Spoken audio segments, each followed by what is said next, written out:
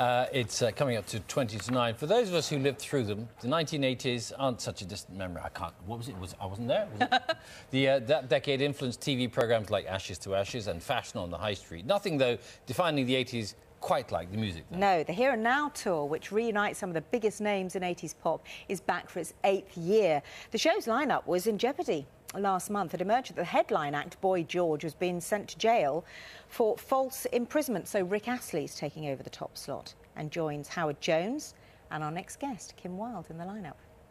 Uh, Kim's with us now. Morning. Good morning. Uh, we'll talk to you in a second. First, let's take a moment to stroll down memory lane with one or two of your classics.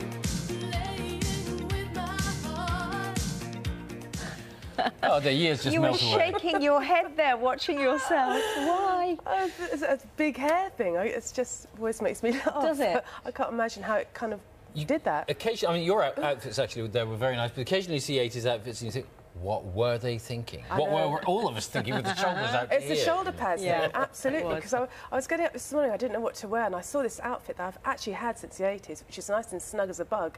But I put it on and it had shoulder pads in, and I thought, oh no, you can't be But seen when you dead in didn't have those them in the 80s, you look really strange because everybody had them on. Well, exactly. And the frilly shirts. And so you're not going to be donning that sort of stuff when you go out on tour, or are you? is, it, is it a real 80s tour with the dresses as well?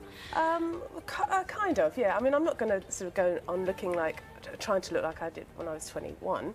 Um, but I, I should be going out and rocking it up a bit, really, because that's, that's sort of what I love to do. I love to sort of do a bit of rock and roll. Lots of my songs were quite rocky, Kids in America, Chequered Love, View from a Bridge, and uh, so hanging So I on say dress. You wouldn't have worn a dress. You never wore dresses. I wasn't did really. A, you? dr- I was a real t- jeans and t-shirt You were a girl, so I think I'll be sort of doing something along those lines in May, of course. It's, ama- it's an amazing lineup. I, you, Yeah, I just good. got excited quite a se- just a second ago because it's Howard Jones, Kid Creole and the yeah, Coconuts. the coconuts. I saw them in New York 20, 27 years ago, something like that. I know it's it's all quite a long time ago, really, isn't it? Oh, but fantastic. But, Uh, um, Altered Images, Brother Beyond, Yeah. Hazel O'Connor. Hazel O'Connor, Oh. yeah, no, she's such fun. The girls are fun. I'm very looking forward to hanging out with Claire from Altered Images and Hazel, yeah.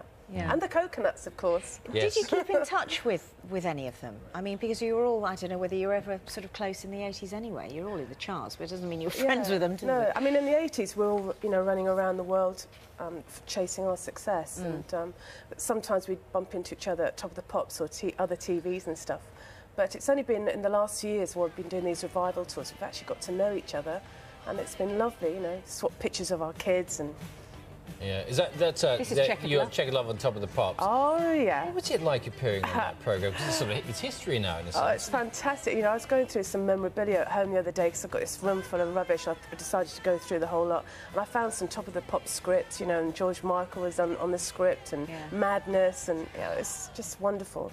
And- Very exciting days. Does it feel a bit odd to be going back into it? Because we, you, you sort of reinvented yourself as a, as a gardener and you did all the gardening television programmes and I didn't think you'd be going back into pop.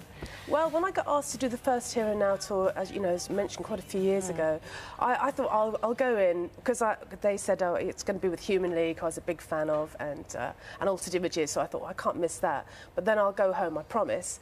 But then uh, I got asked to do it the year after and the year after that, and I had so much fun, and also more importantly, the reaction from the audience was so strong. They loved it, it. And the, and the interest in 80s just seems to have grown and grown in the last few years. Yeah, you won't be away from the garden too long because it's a quick burst of gigs in, a, in sort of 10 days in Yes, May, isn't it? Yes, it is. It starts on the 14th of May in Liverpool and finishes on the 23rd of May in London. And you rattle around Um, the country. And then we'll be rattling around the country. You can't miss us. And Wales. Just follow the hair. Right. The hairspray or the smell Full of of the hairspray, hairspray. yeah. Was it difficult to get the voice back, or is the voice always there? Um, No, I, I have actually been doing lots of live work for the last eight or nine years now, um, mostly actually abroad, especially in Germany. But um, no, the voice is still there, very much so. and uh, Rick Astley's uh, headlining well. Yeah. Rick Astley is headlining. I mean, how lovely! What a great voice that man has, and some wonderful hits. How do you just the instrumentation? How do you do that? I mean, because everybody's got a different backing, would have a different backing band. Yeah, we've got one band, and one band who plays for all of us.